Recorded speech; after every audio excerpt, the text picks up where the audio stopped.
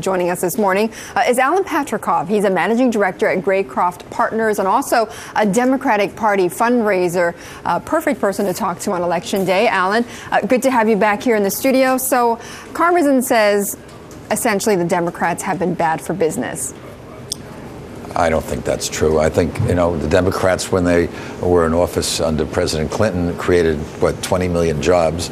Uh, and then we inherited a very uh, President Obama inherited a very poor a period when all we did was have jobs decline. And I think President Obama has been trying to resurrect that situation, which is not, this is a battleship you can't turn around overnight. Right, but he's also implemented things that uh, other business leaders have said have been bad. Health care reform has been bad. The uncertainty over the Bush tax cuts, all of that. Well, when you say he's implemented these and they're all bad, uh, to a certain extent, I mean, a lot of people would say getting health care is a benefit, and that's a positive element. I think the financial regulations. Well, bad for business is what I want to mean. Was what I mean, though. You know, but bad for business is a selfish attitude. I mean, you have to think about what's good for the country, not just what's good for business per se. And ultimately, uh, if it's good for the country, it's going to be good for business. I mean, there are certain elements, I, I grant you, that have to be modified or adjusted. But I think on the whole, uh, he's trying to make take steps that will be positive in the end for business. Like what? I think healthcare itself. I mean, I think get, covering more people. You think longer term eventually will be a benefit? I mean, we do have a lot of people that aren't covered, and that this uh, uh, administration is trying to be uh, to bring more of those people into the system. And there's a cost involved. I mean, you can't help it; it's inevitable. Right. Although there's talk that if the Republicans and you know when the Republicans they're going to reverse it, they're going to reverse it. Right. No, what well, they'll try to reverse it on a state by state basis. Well, was it a mistake for the debt for Obama to to hang his hat on health care reform? I think, in, you know, it's easy in hindsight to, to comment on anything. I think the mistake perhaps was that of all the items that he had to deal with, he didn't, I think, recognize how serious that job decline was and, mm. and to stem that. And that should have probably been the first uh, effort to do whatever it could to stimulate job growth. Right, first on his priority Absolutely. list. Uh, Alan, what do you fear most? Uh, I feel do nothing. I, I am really you seriously fear doing worried. nothing. I'm worried that we're going to get a Congress that's going to be stalemated even without a stalemate, I've had, uh, as an outside observer, I'm not involved in the administration, I've watched uh, the stalemate developing. Even we have a Congress where the Democrats are supposedly in control, uh, how impossible it is to get legislation passed and to get something moving, whether it's appointments uh, that take forever or whether it's getting legislation. And I think if the Republicans win as many seats as people uh, are predicting, uh, I fear we will just have lots of committee meetings, lots of investigations. Uh, but nothing. What, and nothing. But doing nothing. Uh, yeah, which is the most serious thing, I think, at this moment. This is a time we need to do something. What do they need to do on jobs?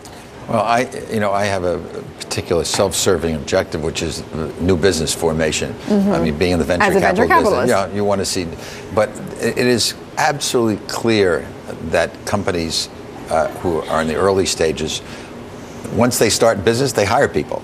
So anything that can be done to stimulate new business formation is going to be a very big positive. But you haven't seen any legislation that holds back these well, companies that you fund from? No, but I also haven't seen anything that would stimulate it until just recently, about two weeks ago, the president uh, took a particular part of the tax code called Section 1202. I don't mean to get technical, which has been around for a long while. And what is that essentially? It, it's a, it says if you form a new company which has under 50 million in assets, that you are given and you hold it for five years, that you are you pay half the whatever the capital gains tax rate is, which mm. is a real stimulus, and uh, that could be even greater, frankly, to stimulate even more so uh, investments.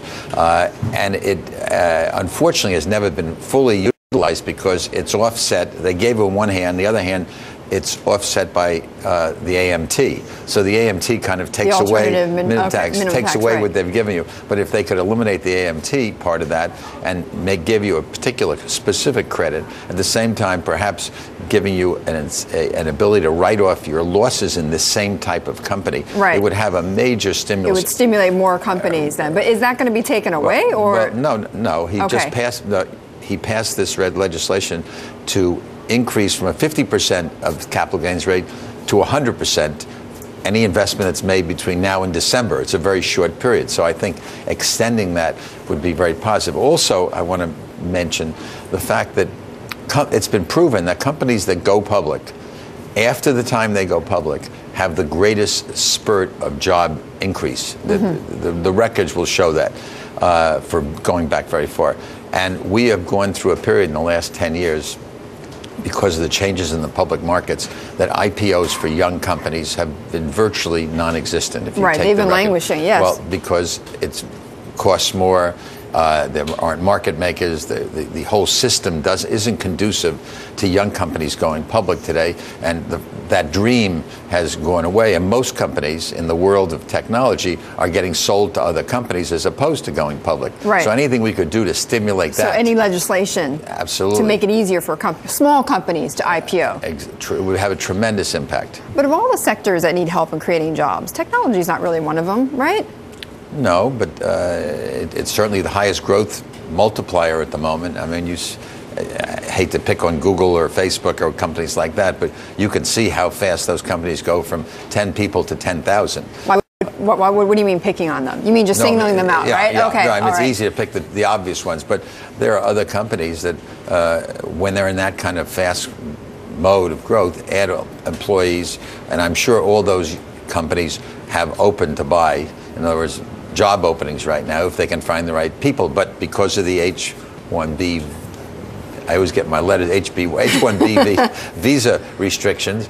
It's been very hard to bring in uh, to this country uh, people with high tech right, yeah. I I know one of the issues that you're passionate about, which I'm just reading about from Wil- Wilbur Ross, has also talked about it, which is um, he quoted the statistic about 90% of all engineers that are going to be working in this world are going to be in Asia in 2012. And what he's saying is that, look, we're educating all these engineers, but they're all leaving.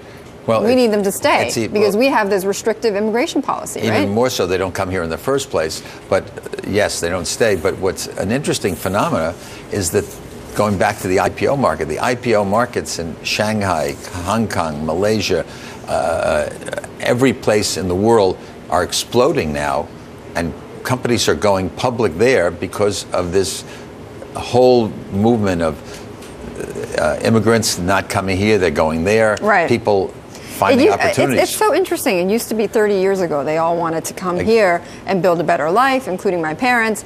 And then now all of a sudden, all of these same, very same people are staying there because that's where the job growth is. You know, it's And the public markets are good and they can tap into those markets. There are many, many ready investors to invest in. Yeah. Whereas we had it to ourselves at one point. Okay. All right, Alan. We're gonna have to leave it there, but I appreciate you stopping by, Can I just say one last thing? Yes. Vote, everybody go vote.